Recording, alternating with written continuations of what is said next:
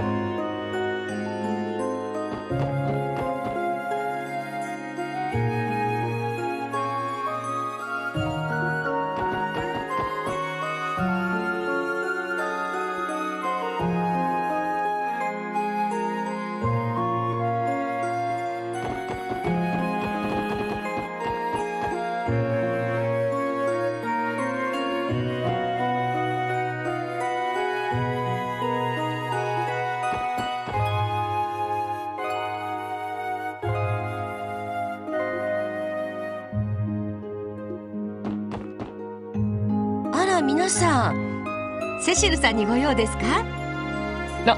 いえ。実はまたユアヒム先生に相談したいことがありまして。お時間がもらえないか問い合わせていただけませんか？ええお安いご用です。あらヨアヒム先生いらっしゃいましたか？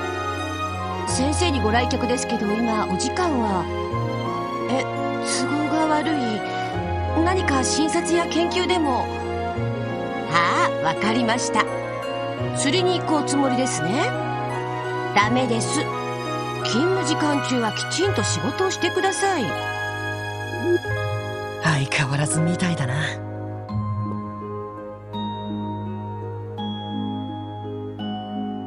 ええ支援課のロイドさんたちですこのまま研究室にお通ししますね。ヨアヒム先生がお会いになるそうです。どうぞ研究棟の方へ。どどうも。お手数をかけちまったみてえだな。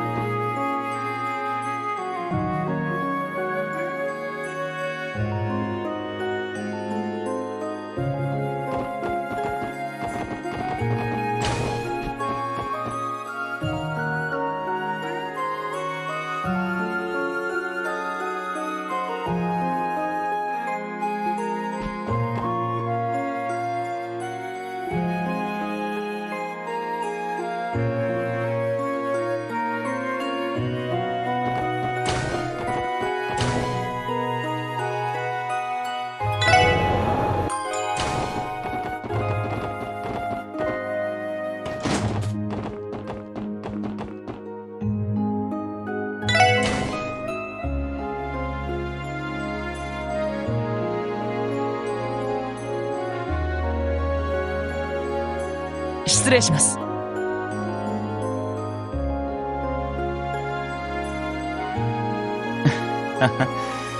ようこそ。よく訪ねてきてくれたね。えっと突然お邪魔してすみません。なんだかご趣味の邪魔をしてしまったようで。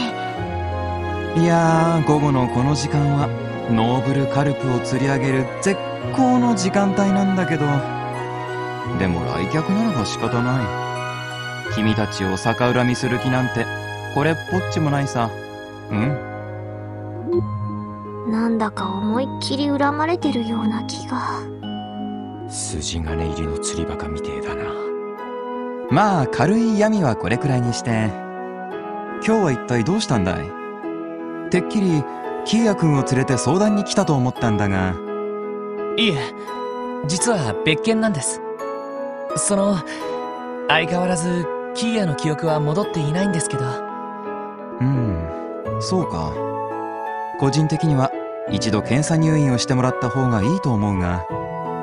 その本人にもそれとなく進めているんですがその気になれないみたいで。すみません。問題を先送りにしていますね。まあ焦らずにゆっくりと考えるといい。それで別件というのは僕の専門に関わる話かい？ええまさにそうなんです。こちらの薬をご覧になっていただけますか？ほう。これはなんだこの青色は？着色料にしては様子が。この錠剤は、とある人物が持っていたものなんですが、俺たちは違法性のある薬物ではないかと睨んでいます。なるほど。詳しい話を聞かせてもらおうじゃないか。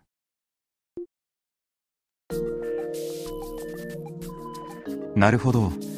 そんなことになっているのか。うーん。それで、ヨアヒム先生。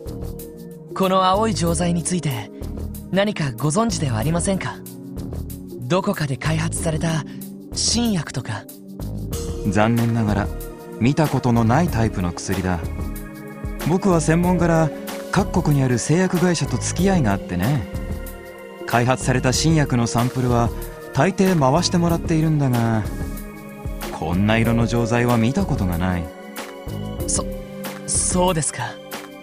しかも聞く限りにおいて効能についても尋常ではない。筋力集中力反射神経そして判断力と直感力それら全てを高めるというのはそのまだマフィアたちがこの薬を服用していたかどうかは確かではないんですが。実際確認できてんのはあの行員だけだしな。イアン先生から聞いた話もまだ噂の域を出ていませんね。うん。いずれにせよ得体の知れない薬物であるのは確かなようだね。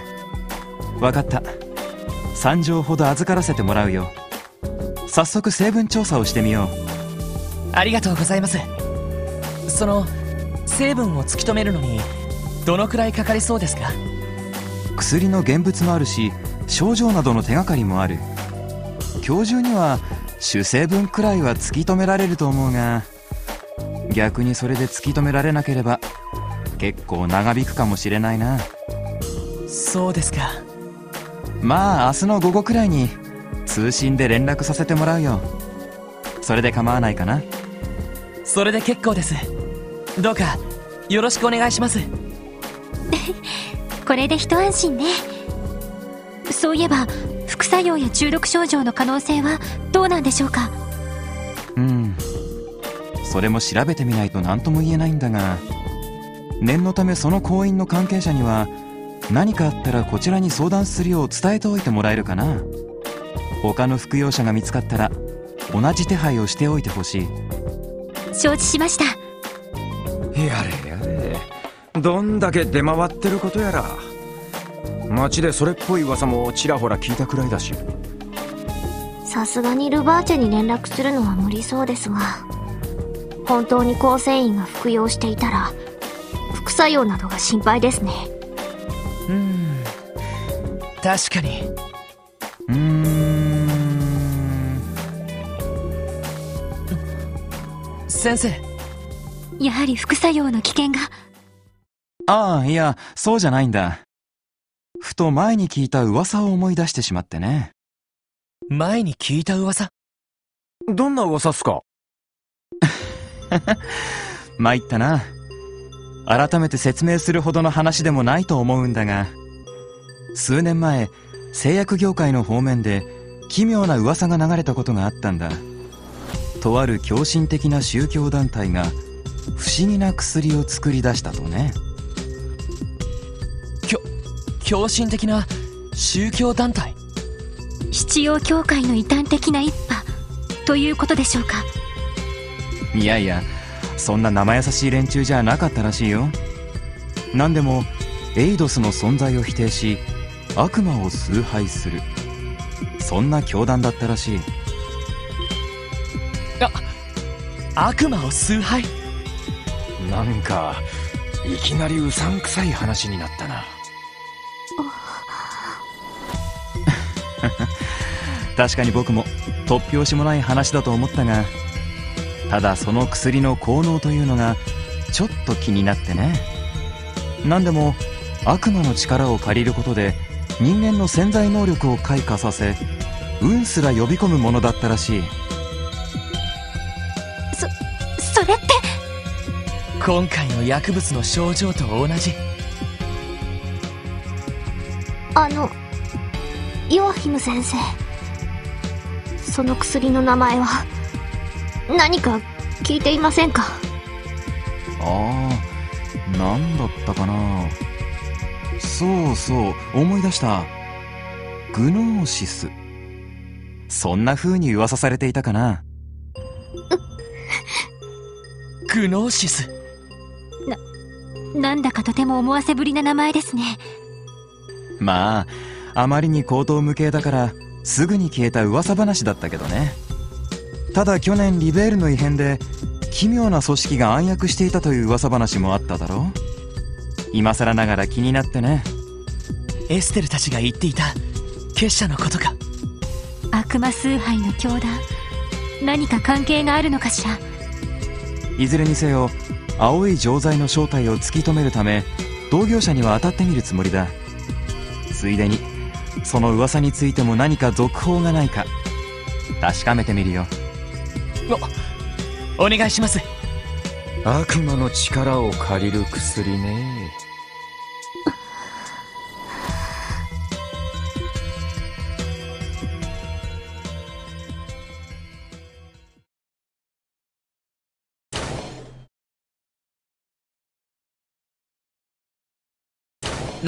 なんだか最後に奇妙な話を聞いたけどとりあえず薬の成分調査は先生に任せておけば良さそうだなええ、そろそろ夕方だし、クロスベル市に戻りましょう。一家からの捜査報告書が届いているかもしれないわ。やれやれ今夜は書類とにらめっこになりそうだな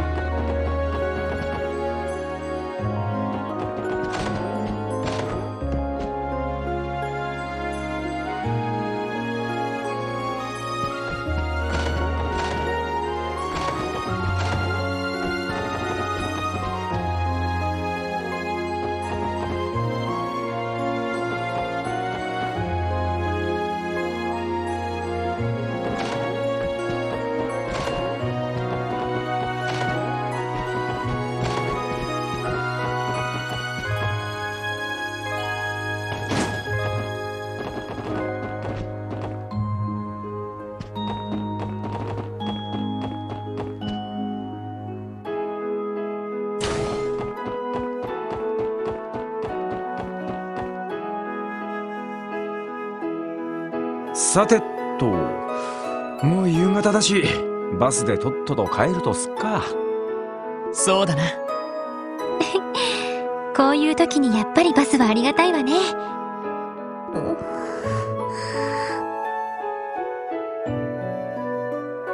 ティオ。なんだ清介さっきから妙に静かだな。別に、そんなことは。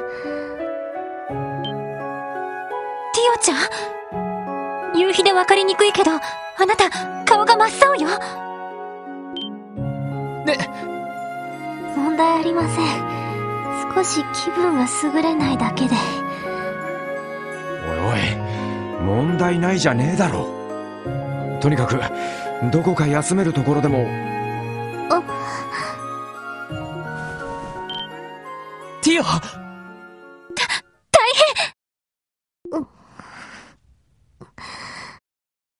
すぐに医者か看護師を呼んでくるああ頼む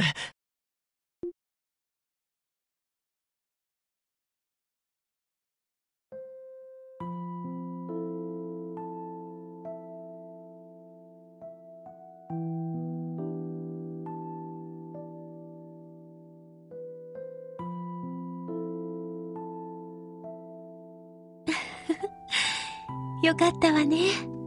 ただの貧血で。しばらくしたら、すぐに目を覚ますと思うわ。そっかよかった。はあどうなることかと思ったぜでもごめんなさい。私のベッドを使わせて。ちょうど病棟の方に空いている個室がなくて。いや助かったよここの方がティオも落ち着けるかもしれないしセシルさん、ありがとうございました。気にしないで。今夜は私も夜勤があるし、なんだったら、このまま朝まで寝てもらっても構わないから。それじゃあ、私は失礼するわね。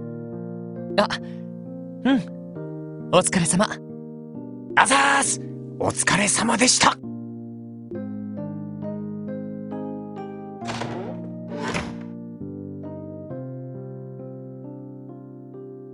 ティオもう少し早く気づければ考えてみれば、ヨアヒム先生の話を聞いている最中くらいから様子がおかしかったものね。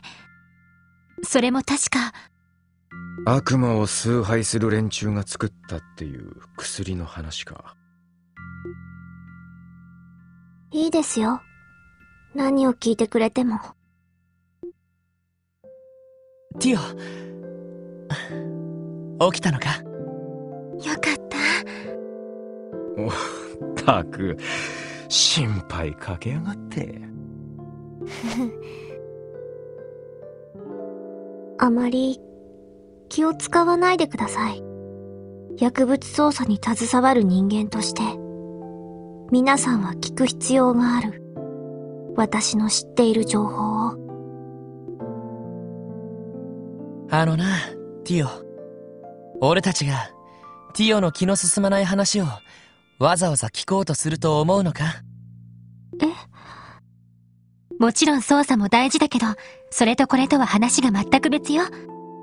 私たちにとってあなたは同じ仕事に携わる同僚だけど、それ以前に何よりも変え難い仲間だと思っている。他人には秘めておきたいそいつならではの事情はあるさま俺の過去についてはちょいとばかりバレちまったがティオスケお前がそれを知られたくねえってんなら俺らは全力でお前に協力するさエリーさん。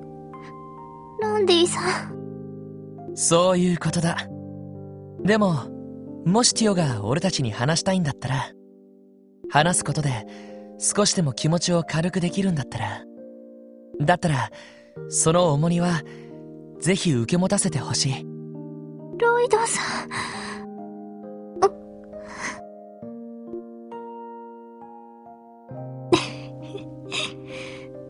よくそんなに恥ずかしいセリフを言えますね。ロイドさんだけでなく、エリーさんもランディさんも、お二人ともロイドさんに影響されてるんじゃないですか？そうかもな。うん。確かに否定はできないわね。否定してくれよ。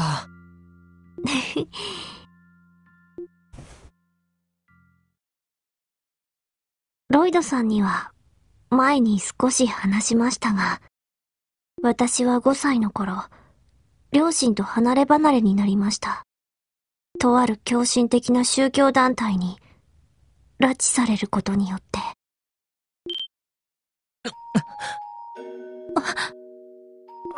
そいつは。その教団の真の教義や目的は今でもわからないそうですが、ただ彼らはエイドスを否定し、悪魔を崇拝することで何かを得ようとしていました。私を含めた他の子供たちは、その、供物だったんだと思います。供物。供物と言っても、生贄とかじゃありません。そんな目にあった子も、いたのかもしれませんが、その教団はいくつものロッジを持ち、ロッジごとに様々な方法での儀式を試みていたようでした。そして私が連れて行かれたロッジで行われていたのは、儀式という名の人体実験でした。じ、人体実験？ひょっとして、お前の感能力のことか？はい。薬物を投与され、全身にセンサーをつけられ、考えつく限りのやり方で五感を高める試みが行われました。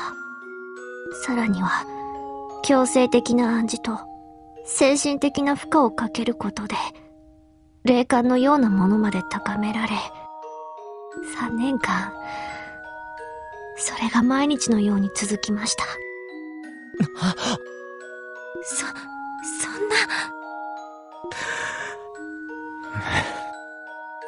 それでも私は、幸運な方だったかもしれません。私以外の子は、全員が耐えきれませんでした。一人、また一人と、周りから子供がいなくなって、ついに一人になった頃、私は手に入れていました。分厚い岩壁の向こうで、他の子たちがあげた最後の悲鳴を聞き取れるくらいの感応力を。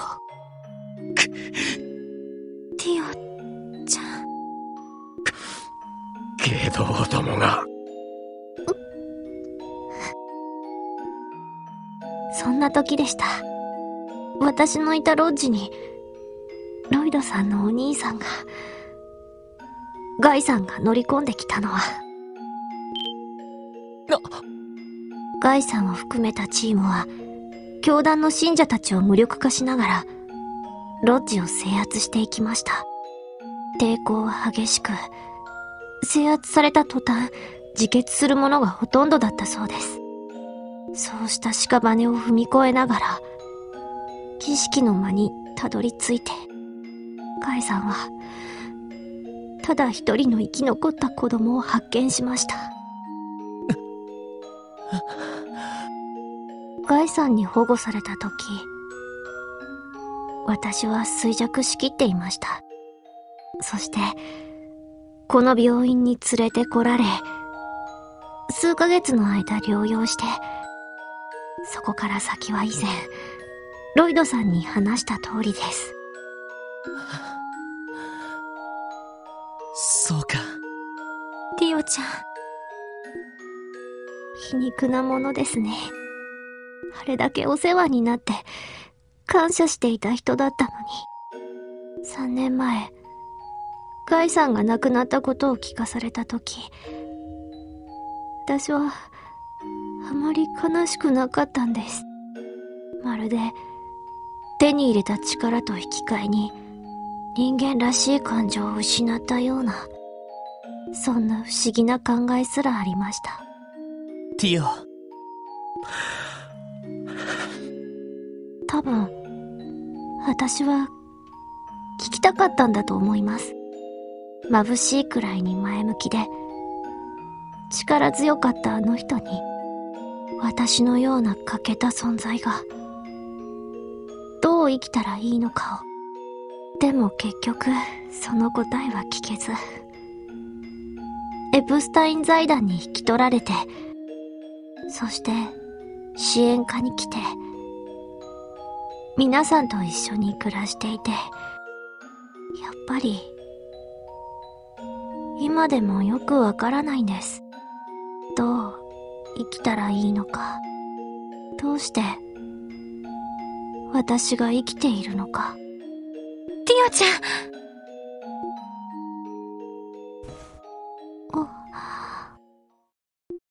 いいじゃない。わからなくったって。そんなのは私たちだって。あなたと同じなんだから。なぜ生きてるのか。どう生きればいいのか。そんなのが分かってる人間なんてそうそういるもんじゃないさ。俺もエリーもランディも誰だって同じさ。ああ俺なんざ特に自分の道を見失った口だがそれでもティオスケ お前真面目すぎるんだよ。そんな難しい問題を急いで解いてどうするんだ？でも、それでも気になるなら答えを探し続ければいい。ただ焦る必要はないし一人で探す必要だってないんだ。俺たちが一緒に探すからさ。もちろん私もよ。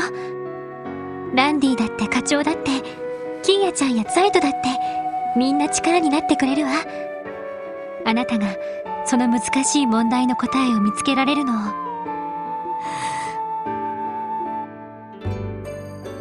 エリーさんもランディさんも、ロイドさんに感化されたみたいに、本当に、聞いてるこちらが、恥ずかしくなってきてしまいます。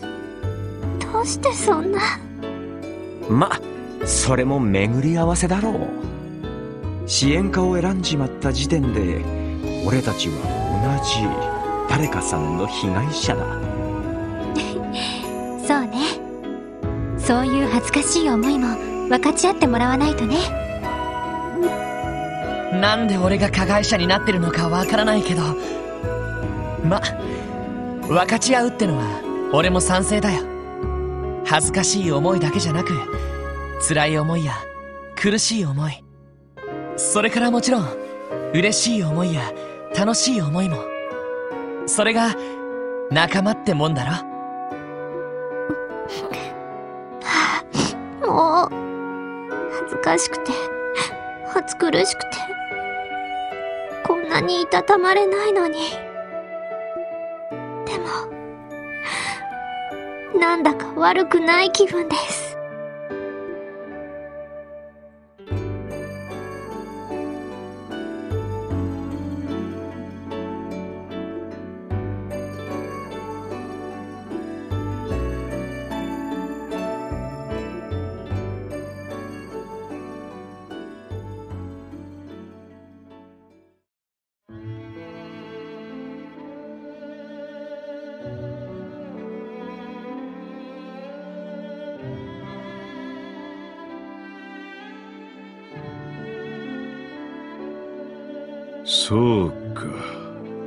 の名前が出てきたか。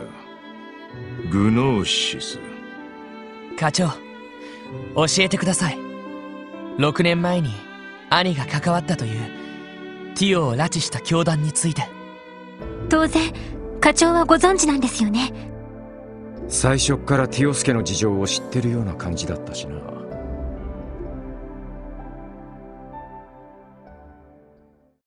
俺が知ってるのは当然だ当時ガイと共に教団のロッジの一つを制圧した当事者だったからな。そうだったんですか。それじゃあ課長は兄貴の。直接の上司だった。当時から俺はちょいとはみ出し気味でな。ある時規格外の新人を二人も押し付けられちまったんだ。そのうちの一人がお前の兄貴だあ。直情的で無鉄砲だったが奴は優秀な捜査官だったよ。いい意味でもう一人の新人と好対照な組み合わせだった。もう一人の新人の方というのは？ひょっとしてあの一家のダドリーとか？いや奴は生粋の一家上がりの男だ。俺が受け持ったもう一人の規格外の新人それはあのアリオス・マクレインだ。ええ？あの人元は警察の？数年前に警察を辞め遊撃士に転向しちまったがな。警察が遊撃士協会に微妙な距離感を持っている理由の一つでもあると言えるだろなんとまあ。兄貴と有吉さんが同期の新人同士だったなんて。う年齢はアリオスの方が二つばかり年上だったがな。すでに結婚して娘も生まれたばかりのアリオスはとにかく生真面目すぎる男だった。一方ガイは奔放で無鉄砲でとにかく前向きなバカ野郎だった。そんな二人だからこそ逆に馬があったんだろうな。わずか2年足らずであいつらはクロスベル警察最強の若手コンビと言われるようになった。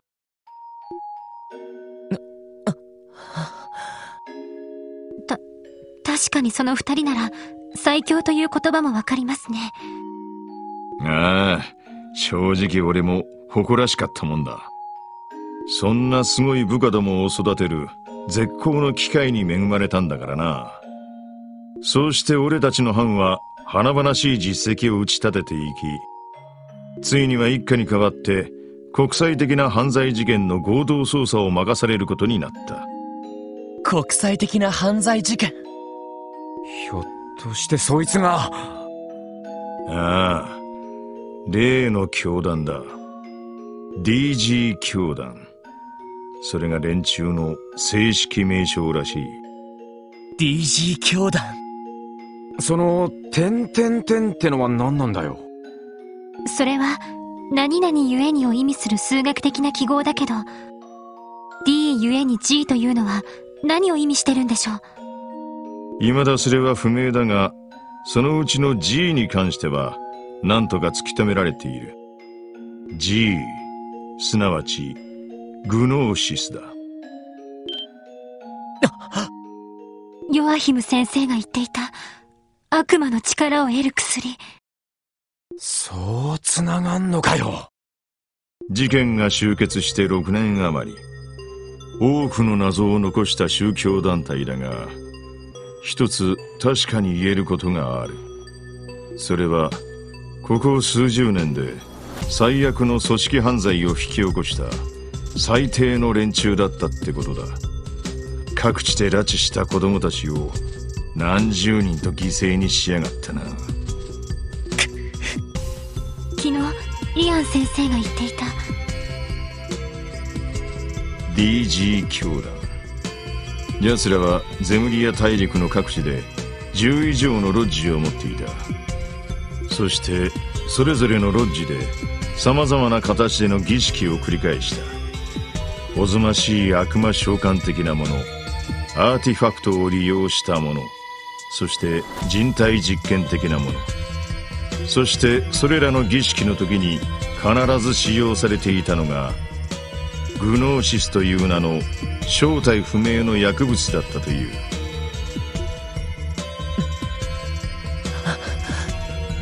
その衝撃的すぎる話ですね。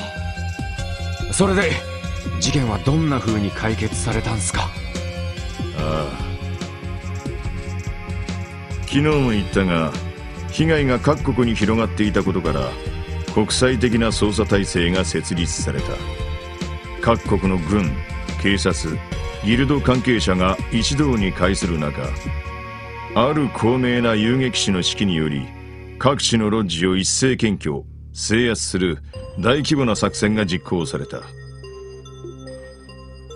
そして俺たち3名は共和国最西端。アルタイル市の郊外にあるロッジの制圧を担当しガイは当時8歳だったティオ・プラトーを保護した。ティオは衰弱しきっていたがまだマシな方だったのかもしれん。それ以外の子供たちが全員助からなかったというのもあるが他のロッジで試みられていたおぞましい儀式に比べたらまだマシな扱われ方だったからだ。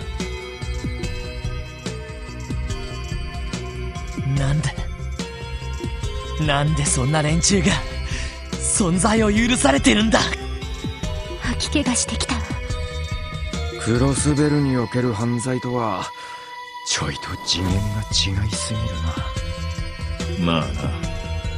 ただいずれにせよ6年前のその作戦をもって教団は完全に叩き潰された。信者たちは全員自決するか精神に破綻をきたして衰弱死した残党もいたって話だが教会や例の結社とやらが動いて密かに殲滅したっていう噂もある。DG 教団の悪夢は完全に終わったはずだった。ですがこの青い錠剤。これがその教団が使っていたグノーシスである可能性が出てきたというわけですね。現時点では憶測の範囲だがもしそれが本当なら6年前の悪夢が別の形で引き起こされるかもしれん。それもマフィア同士の抗争を巻き込むような形でな。最悪すぎんだろ。それが本当なら絶対に見過ごせません。ああもちろんだ。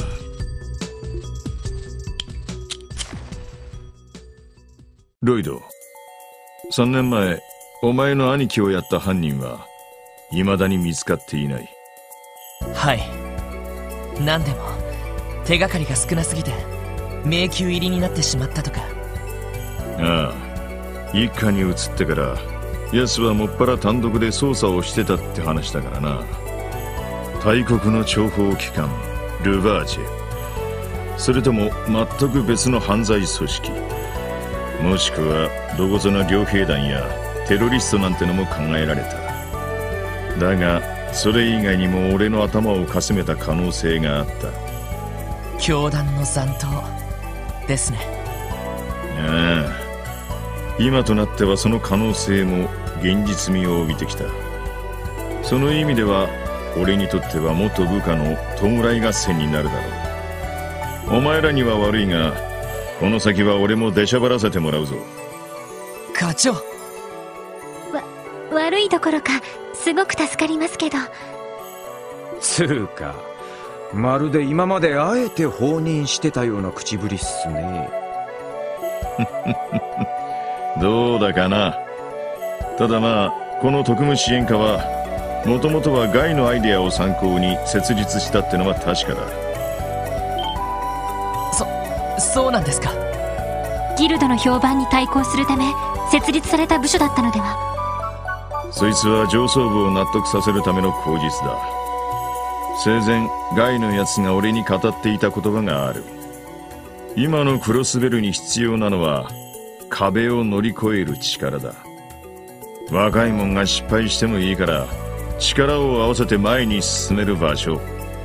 それが警察には必要なんじゃないかってな。兄貴が。やれやれ。とんだ熱血兄貴だな。もしかしてティオちゃんが支援課に来たのも？なああ。ガイの意志が息づく場所にいたかったんだろう。本人からはっきりと聞いたわけじゃないがな。そうか。そうだったのか。兄貴のことはともかく今はこの薬の被害を食い止めることが先決です。それとヒーヤですが例の教団と何らかの関わりがあるかもしれません。そいつはありそうだな。記憶喪失の原因が薬物って話もあったし。ああ俺もそう睨み始めている。ですから課長動くのは俺たちに任せて課長はここでキアを守ってやってくれませんか？一家との連携もありますし俺たちには指令役が必要なんです。ほう。確かに。誰かが支援課に詰めとく必要はありそうだな。すみません。せっかくの申し出なのに生意気なことを言ってしまって。いやいいだろう。引き受けた。ただし今まで通りわざわざ俺から指示は与えん。相談にはいくらでも乗るし各方面と連絡も取ってやるがお前たち自身が判断して今回の事件を解決してみせろ。どうだ？やれるか？はい。了解しました。やれやれ。明日から鬼のように忙しくなりそうだぜ